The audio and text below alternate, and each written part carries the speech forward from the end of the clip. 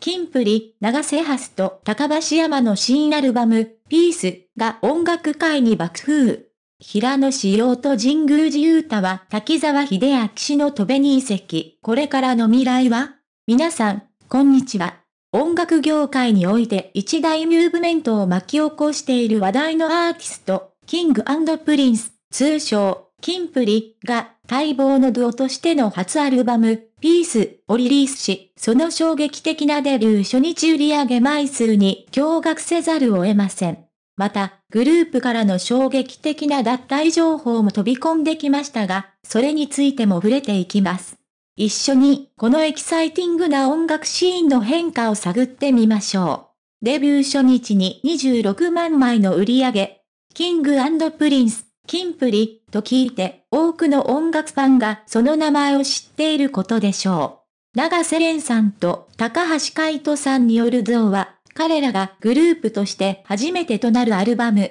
ピースをリリースしました。そして、そのデビュー初日の売上枚数は、なんと2万6000枚を記録し、オリコンの最新デイリーアルバムランキングで堂々の1位に輝きました。このアルバムは、これまでのキンプリの作品とは一線を画すもので、特筆すべきは二人のソロ曲が初めて収録されていることです。長瀬廉さんは、今日作で作詞にも初挑戦し、新たな一歩を踏み出しています。その音楽的な成長が多くのファンに支持されたことは明らかです。キンプリ、過去との比較。キンプリの新アルバム、ピースは通算で5枚目のアルバムとなります。しかし、これまでのアルバムと比較してみると、その初日売上枚数は圧倒的に異なります。例えば、グループから平野仕様、神宮寺勇太、岸優太が脱退する直前の4月にリリースされたベストアルバム、ミスター5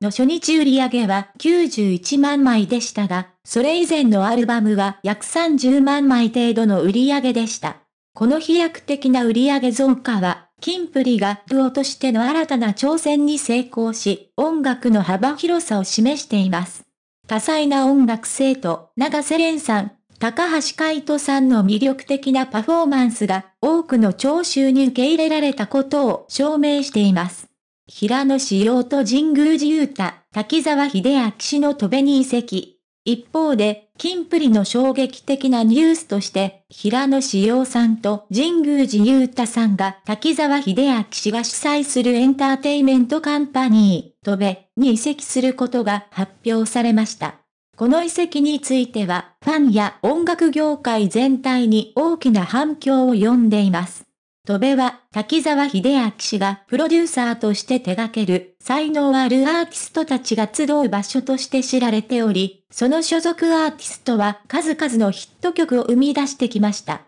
平野志陽さんと神宮寺勇太さんが戸辺に加わることで、彼らの今後の音楽活動にどのような変化が訪れるのか、非常に注目されています。キンプリの長瀬廉さんと高橋海人さんがプオとして初のアルバム、ピースをリリースし、その初日売上枚数が驚異的な2万6000枚を記録。新たな音楽の扉を開きました。また、平野志陽さんと神宮寺勇太さんの渡米の遺跡により、彼らの音楽キャリアに新たな展望が広がっています。音楽ファンやキンプリのファンにとって、これからの展開がますます楽しみですね。引き続き、彼らの活動から目が離せません。読者への挨拶。このエキサイティングな音楽シーンの変化についてお伝えしました。キンプリの新アルバム、ピースや平野志陽さんと神宮寺勇太さんの渡米遺跡についていかがでしたでしょうか？